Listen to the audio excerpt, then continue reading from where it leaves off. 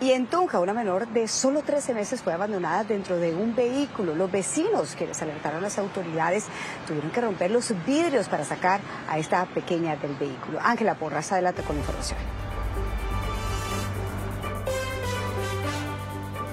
Muy buenas tardes, pues a esa hora esta menor de apenas 13 meses, esta pequeña bebé, es valorada en el Hospital Metropolitano de Tunja y tiene algunos signos de deshidratación. Pues cerca de las 2 de la mañana los vecinos del sector se percataron de algunos ruidos, pero no fue sino hasta la mañana de hoy cuando se dieron cuenta que adentro de ese vehículo estaba la menor abandonada. Aquí la historia.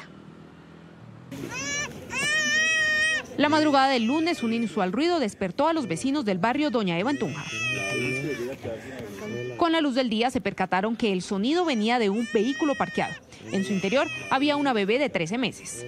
Ella manifestó que habían llegado a esa zona para hacer una visita y que por el frío que estaba haciendo no habían sacado la niña del vehículo, que después se habían quedado dormidos eh, olvidando su bebé dentro del vehículo. En el carro también habían botellas y latas de cerveza. Los policías tuvieron que romper los vidrios para liberar a la menor que fue trasladada al hospital metropolitano con signos de deshidratación.